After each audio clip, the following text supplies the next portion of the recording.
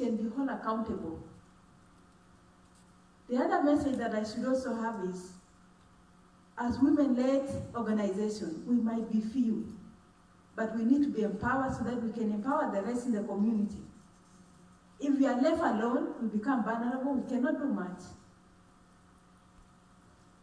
The programming of generalizing that is civil society or local organization, at the end of the day, it becomes men-dominated.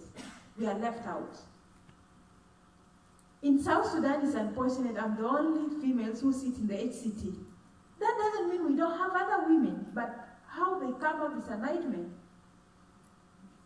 So it's a struggle.